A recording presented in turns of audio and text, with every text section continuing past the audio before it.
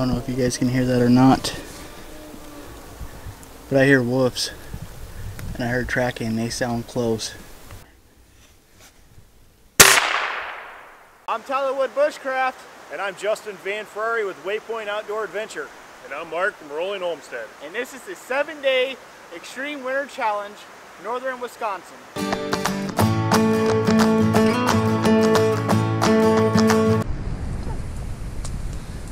Guys. So I got my boots right next to my pan.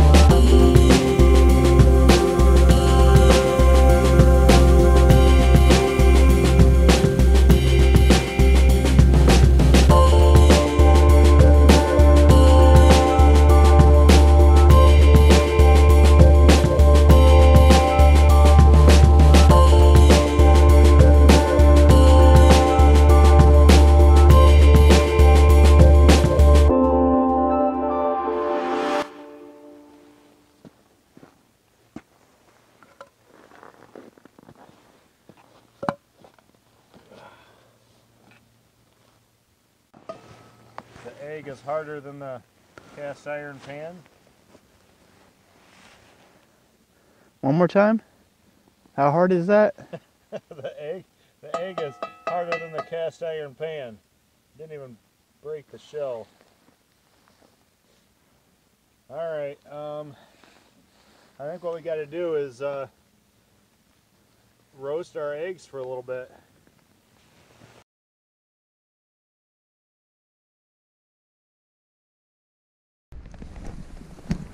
Alright you guys, I got my bag, I got my rifle with me, I got my tripod, my main camera, and we're gonna go exploring. So, I know I probably look weird because my I don't you guys don't see my beard. I have to tuck my beard in because it just keeps freezing over and freezing over and I start picking at that uh, that ice. so I don't want to keep doing that. So I have my beard tucked in underneath my sweatshirt. I definitely think I'm getting sick. I can hear my voice. My nose has been all stuffy. Of course, you know, doing this kind of extreme winter challenge, there is going to be stuff like that that happens. You just got to keep pushing on, moving on, and getting through it. So I'm going back out to that lake. I'm going to try to see if I can't find us a rabbit or some kind of squirrel or something for uh, dinner tonight. We've been eating venison and steak, and I wanted wanted something a little different. So I uh, I figured this would be the best way to do it. Let me uh, pull you guys over to the side here. and show you guys the uh, the cedar swamp that we're going through. Most of these trees out here, like I said, are going to be cedar, white cedar like this. We're going to have uh, white pine, and we're to have birch bark, like white birch bark, and we're to harvest some some birch bark today for uh, some tinder because we are getting pretty low on that black and white fire starter uh, care package that Paul Corona sent us. And uh, what we do have left, we need to save for those emergency situations because I trust black and white fire starters actually with my life just for that simple fact that uh, you know the first three days were so rough it hasn't been able to get past zero degrees out so I uh, I want to make sure I got something there in case uh, it gets too cold and I need to get a fire going before I get into uh, hypothermia again. So, I don't know why I point the camera down. So here we go, taking you guys along for this venture. Uh, hopefully we can catch something down here and have some nice eating tonight. Like I said, you guys are seeing, I'm standing on about four to five feet of snow. The snow out here is just absolutely ridiculous and it's snowing right now. I don't know how well that's going to pick up on camera, but it is snowing now. And, uh, you know, as you can see, some of these holes that we've already walked back and forth, harvesting trees and everything else. Look at that massive hole. That's about two and a half to three feet, and that's not even hitting the ground. So I'm trying to avoid stepping in anything like that because I still have not had time to do my snowshoes because walking from camp all the way down here to the forest, it's been absolutely brutal. Doing stuff in the cold, trying to film to give you guys a perspective on, on what the what it's been like out here. So everything takes like 10 to 15 times longer when you include the the cold, tracking through five feet of snow, cutting down trees, making sure it's on camera. Uh, first three days, my main camera, I've barely been able to record on it because it's been so cold. I take the battery right off the charger at 100%, put it in my camera, I gotta turn it on, and I got about 10% left. That's how cold it's been. So, it's been absolutely brutal out here. But at the same time, it's been absolutely beautiful out here. Call me crazy, I guess, right? All right, so I'm gonna shut this off. It's taking so long to get to this lake. I'm going to, uh, I will uh, see you guys when we get close to that lake.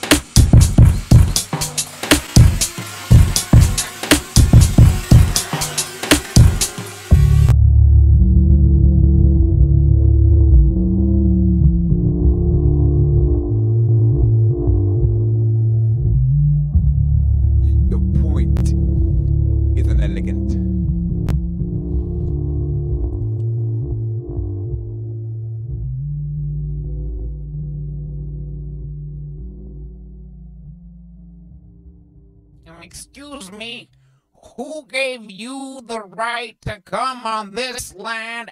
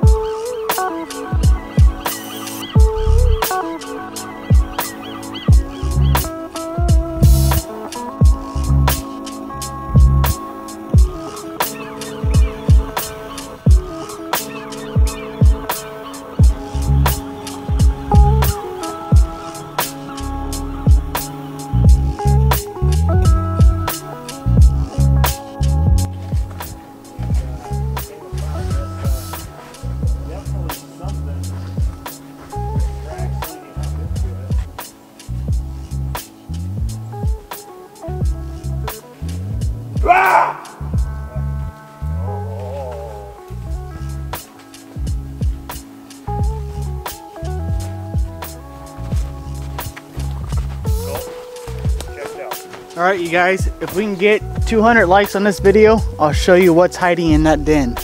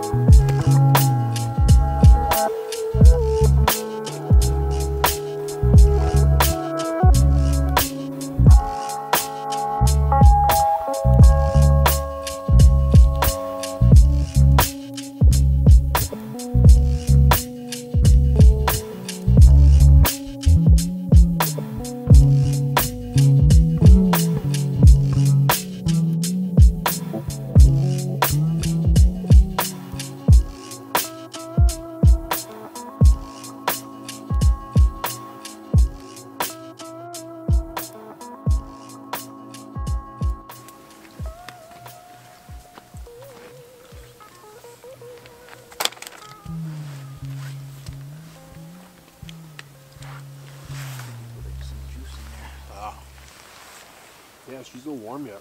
I think we have a little bit of.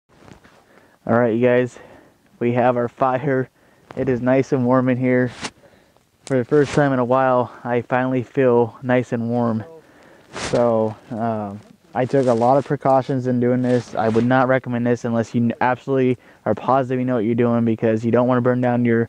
I mean, we are like six feet off the ground right now up in the tree. So, uh, this is absolutely just totally amazing. I got, I took my emergency bivy up here on top, and uh, as you can see that from up there, um, it's it's reflecting the heat right back down on me. It's gonna hit hit my sleeping bags up. It's gonna keep me warm, and uh, this might be the first night where I don't wake up at one, two o'clock in the morning, just shivering, freezing cold, trying to get a fire going, walking around, keeping my blood circulated this is a, a major accomplishment. This has definitely boosted up my uh, my energy now. I don't even know if I'll be able to sleep knowing that uh, I got a nice nice hot fire going. So, uh, all right, I'll, I'll I'll tell you guys the story you guys have all been waiting for.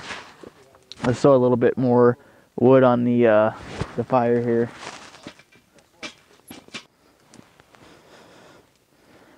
All right, you guys. As I promised, at the night of day two sleeping in my hammock in the shelter that I have now with no source of heat, no sleeping bag. It was absolutely brutal. I fell asleep for about an hour, hour and a half. Everyone was asleep. I woke up freezing cold. I couldn't feel my feet. I couldn't feel my my fingers. I was in uh, pre-hypothermia. Um, I was jogging and running up and down, up and down, trying to get my my. Uh, I got a fire going first. I remember that, and I and as I got the fire going, and I want to give a big shout out to Black and White Fire Starters because if I didn't have uh, one of their fire starters with me, I you know I could be in the hospital. It could be way worse. But Uh, I got a fire going. Uh, it, even with as quick as I mean one strike and you know one flick of a, a lighter and you have fire. And even though it was so easy to do that, I, I was struggling. My hands were shaking so much I couldn't line the fire starter and my Bic lighter up to uh, get a fire going. It was just absolutely horrible. And uh, once I finally got that managed, uh, as the fire and the kindling and getting the big logs on, I would I would jog back and forth all throughout the night, getting the fire going and stand by the fire. Uh, day one, I slept in Mark's cabin. Uh, I just had a rough start getting my shelter done, but now that my shelter is finally completed, and I'm able to sleep in in it on day four, I am so thankful. I, I did not intend to uh, take this long on building my shelter, but when you're walking through four feet of snow and hauling up, you know, 30, 40 plus feet high trees to build your shelter and trying to stay warm and eat, it's just there's not enough time in a day to to do uh, this shelter. There's not enough. You you can't do this in one day.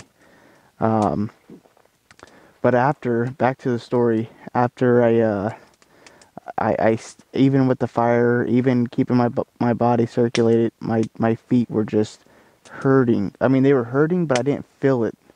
And uh, I got in Mark's uh, little cabin, and Justin came in there. Mark came. Mark woke up. Justin came in there, and uh, they they they got a fire going inside their cabin to uh, uh, warm me up, and it took. I was probably in there for about four to five hours sitting there warming up, I actually had my, my feet right on Mark's little wood burning stove that he has in his cabin. I had my feet directly on it and I couldn't feel it. And he's like, hey, your foot is on there. That's going to hurt. And I was like, what are you talking about? He's, I looked down and yeah, my foot's right on the, uh, the wood burning stove and I didn't feel it. Uh, I took my sock off. Uh, I didn't have bare skin on the, the wood burning stove, just FYI. I had my wool socks on, but I, I took my sock off and I'm looking and I got a goose egg that's all black right around where my ankle, the ankle bone is. Uh, my ankle was really skinny, which was weird. I never seen that before. But the heel, the the bottom of my heel was uh, puffy and really like really big and puffy, and uh, this this all happened uh, start of night two.